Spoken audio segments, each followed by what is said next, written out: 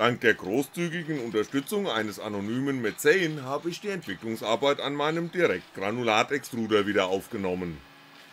Hier zu sehen ist Version Nummer 4, mit der ich einen großen Schritt in Richtung eines zuverlässig funktionierenden Extruders machen konnte. Sieht nach wie vor recht prototypisch aus und das ist auch der Fall. Version 4 ist erstmals im Kern des Designs ein Ganzmetall-Extruder. Wegen mangelnder Kühlung hat dieser zunächst nur sehr schlecht funktioniert, weshalb ich in diesem Video ein wenig mehr auf die nötige Temperaturverteilung in meinem Extruder-Design eingehen werde. Gefertigt habe ich die Röhre aus Messing und Edelstahl. Der untere Teil ist auf meiner Drehbank aus 10mm Rundmessing entstanden. Unten ist ein M6er Gewinde in das Material geschnitten, um Standarddüsen einschrauben zu können. Eine 6mm Bohrung geht von oben bis an das Gewinde heran. Circa 2mm tief geht ferner eine 8mm Bohrung. Diese dient als Führung für das 8mm durchmessende Edelstahlrohr des oberen Teiles. Die beiden Metalle sind hart verlötet, womit die beiden Teile bei Temperaturen unterhalb von 500 Grad Celsius dauerhaft verbunden bleiben. Am oberen Ende ist das Edelstahlröhrchen mit ca. 2mm breiten und 3mm tiefen Einschnitten versehen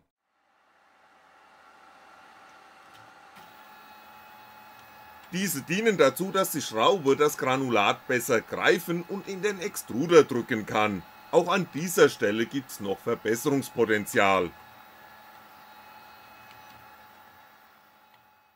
Der obere Teil ist an einem Stück Kupferrohr mit einem Durchmesser von 15mm hart verlötet.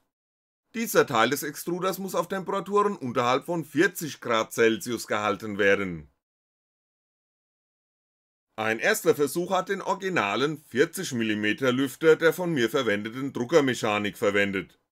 Hat nicht geklappt, also folgte ein größerer Lüfter mit 60mm Durchmesser, der allerdings ebenfalls keine ausreichende Kühlwirkung generieren konnte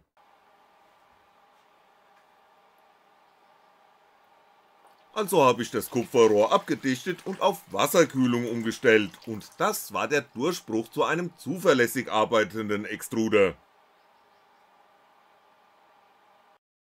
Der untere Teil des Extruders muss geheizt werden. Daher habe ich, wie bei Filamentdruckern üblich, einen Alublock mit Bohrungen für den Extruder, eine Heizpatrone und den Temperatursensor versehen. Oben muss das Granulat fest also gut gekühlt sein, damit die Schraube selbiges greifen und nach unten transportieren kann. Auf dem Weg nach unten muss der Kunststoff schmelzen, um schließlich extrudiert werden zu können. Beim Übergang von fest zu flüssig gibt es einen Bereich, in dem der Kunststoff extrem zähflüssig und dabei auch klebrig ist. Das Zeugs ist in diesem Temperaturbereich nur schwer zu verformen und klebt an dem Schraubendreher und somit in dem Extruder auch gut an den Wänden des Röhrchens oder der Förderschnecke. In dieser Phase lässt sich das Material nur mit hohem Kraftaufwand nach unten pressen. Daher sollte der Übergang von fest zu flüssig in einem möglichst kurzen Bereich der Röhre ablaufen. Unten wird geheizt, oben gekühlt, Lax formuliert fließt also Wärme von unten nach oben. Je mehr Wärme fließt, umso stärker muss unten geheizt und oben gekühlt werden. In meinen früheren Extruder-Designs habe ich einen Glasblock als Hitzebarriere eingebaut. Das hat funktioniert, war allerdings knifflig in Sachen Nachbau, denn der Hitzefluss entscheidet darüber, ob ein Extruder funktioniert oder einfach ständig klemmen bleibt. In dem Ganzmetall-Extruder übernimmt der Edelstahl die Funktion der Hitzebarriere. Der Wärmeleitkoeffizient von Edelstahl entspricht mit ca. 25 Watt pro Meter und Kelvin lediglich einem Fünftel dessen von Messing. Neben den Materialeigenschaften sind die Abmessungen von entscheidender Bedeutung. Je geringer der Querschnitt des Materials, umso weniger Wärme fließt vom heißen zum kalten Ende. Das von mir gewählte Edelstahlrohr hat eine Wandstärke von einem Millimeter und ist somit eher dickwandig zu nennen. Dünnwandigere Edelstahlröhrchen habe ich bereits bestellt. Worüber fließt noch Hitze in dem Extruder? Zuallererst natürlich über das zu extrudierende Material, also den Kunststoff. Der Wärmeleitkoeffizient von PLA entspricht lediglich einem Hundertstel von Edelstahl, dem im oberen Teil verwendeten Metall. Apropos Metall, natürlich leitet auch die Extruderschraube Wärme. Von Vorteil bei meinem Design im Vergleich zu klassischen Extrudern ist, dass der Schraubendurchmesser deutlich kleiner ausfällt als der Innendurchmesser des Röhrchens, somit bleibt ein deutlicher Spalt zwischen Schraube und Wand. Dieser Bereich ist mit Kunststoff gefüllt, der quasi als Isolator fungiert und somit den Wärmefluss über die Schraube deutlich reduziert.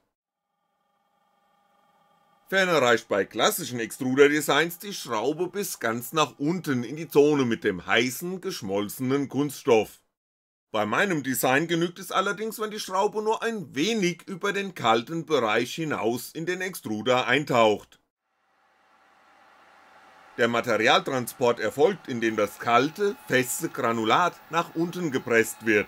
Die von mir verwendeten Holzschrauben besitzen eine deutlich kleinere Steigung als herkömmliche Extruderschnecken.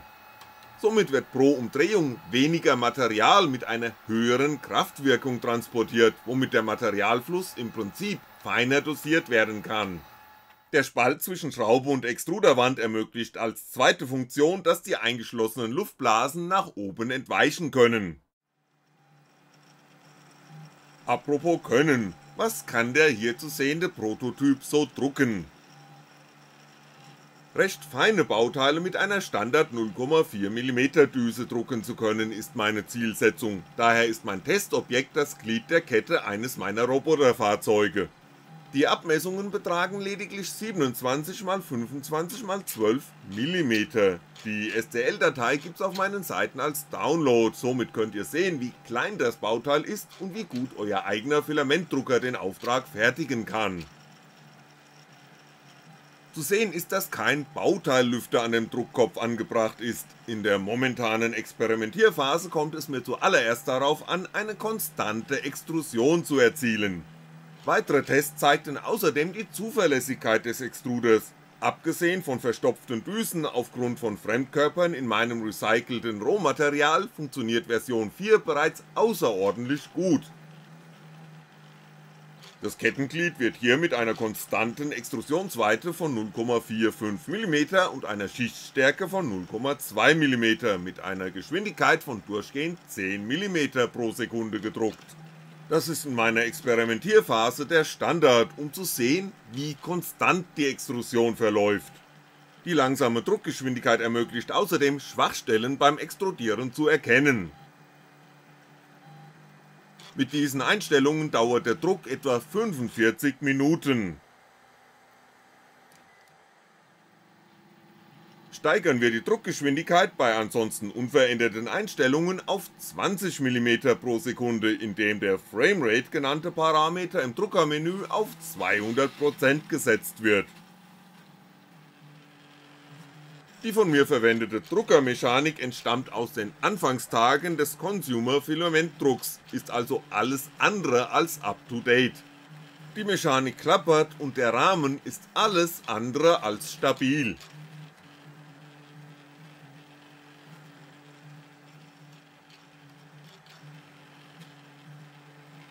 Ghosting an den Kanten und wellenförmige Oberflächen gehen ganz klar zu Lasten der allzu beweglichen Mechanik. Die Düse hoppelt teilweise über die Oberfläche, wodurch Spalte an den Wänden entstehen.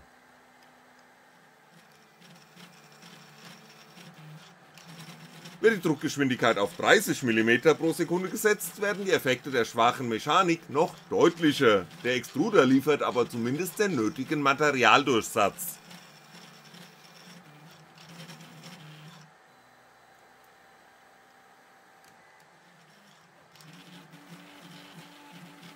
Das trifft auch für eine Druckgeschwindigkeit von 40mm pro Sekunde zu. Schön drucken sieht anders aus, daher belassen wir es dabei die Druckermechanik überzustrapazieren.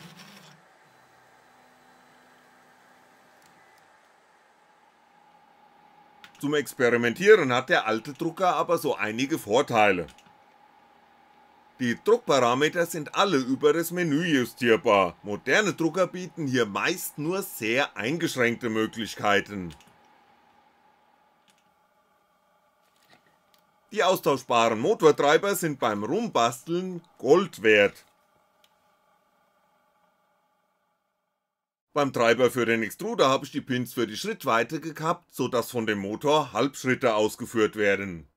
Keine unbedingt notwendige Maßnahme, aber die Extruderschraube kann dadurch von dem alten, leistungsschwachen Mikrocontrollerboard des Druckers schneller gedreht werden. Außerdem habe ich den Transistor für das Hotend bei einem früheren Experiment zerstört, was aber dank der offen zugänglichen Hauptplatine kein großes Problem war. Ein Leistungs-MOSFET sorgt nun für die Kontrolle der zugeführten elektrischen Energie. Der Extruder kann mit der 12V 50W Heizpatrone auf den Maximalwert des Druckers von 260°C erwärmt werden, es dauert allerdings einige Minuten bis diese Temperatur erreicht ist. Wenn ich das Extrudieren gut im Griff habe, wird zweifelsohne eine bessere Druckermechanik unumgänglich. Das hier zu sehende Kettenglied wird mit variabler Extrusionsweite gedruckt, womit der Extruder einen variablen Materialdurchsatz liefern muss. Wie schon gesehen wird Stringing besonders bei höherem Materialdurchsatz unweigerlich zu einem nicht wegzudiskutierenden Problem. Beim Retract entwickeln Granulatextruder da so ganz eigene Problemchen. Beim Extrudieren muss eine nicht zu vernachlässigende Kraft senkrecht auf die Schraube ausgeübt werden, was dazu führt, dass sich die Mechanik verbiegt und sogar bricht, wenn die Kräfte zu groß werden.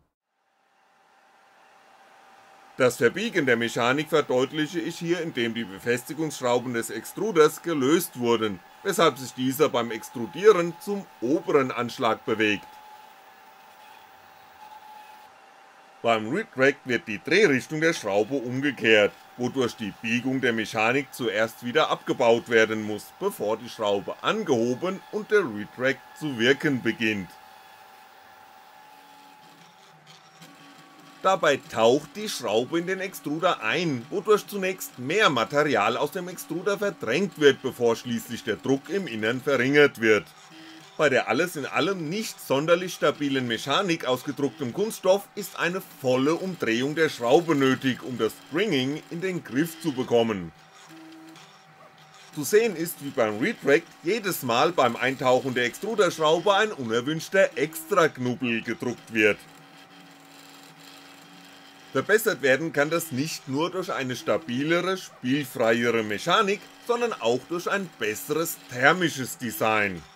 Kann der Hals des Extruders verkürzt werden, so wird eine geringere vertikale Kraft zum Extrudieren benötigt und auch das Drehmoment mit welcher die Extruderschraube bewegt wird, kann kleiner ausfallen. Mit einer geringeren Getriebeuntersetzung von bisher 5 zu 1 oder gar einem Direktantrieb kann der Retract enorm beschleunigt werden Mehr Präzision in der Ansteuerung der Schraube führt auch zu gleichmäßigerer Extrusion, die zuallererst verwendete Kupplung hatte da noch so deutlich sichtbare Probleme, die mittlerweile verbessert, aber noch nicht ganz ausgebügelt sind. Es gibt also noch viel zu tun. Wer mir bei meiner Entwicklungsarbeit dieses und weiterer Open Source Maschinen finanziell unter die Arme greifen möchte, auf meinen Seiten gibt's neben weiteren Informationen zu dem Extruder Projekt auch eine Spendenschaltfläche. Vielen Dank an all die großartigen Menschen, die davon schon Gebrauch gemacht haben.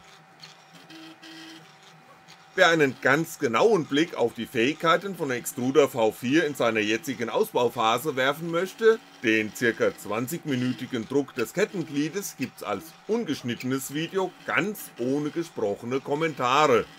Ihr dürft also selber gucke und hosche, was geht und was noch nicht geht. Behaltet dabei im Hinterkopf, dass es sich um ein recht kleines Bauteil handelt, das mit recyceltem Plastik gedruckt wird, auch am Aufbereiten alter Drucke oder dem Pulverisieren von frischem Granulat arbeite ich weiter. In diesem Sinne, danke fürs Angucke und bis bald.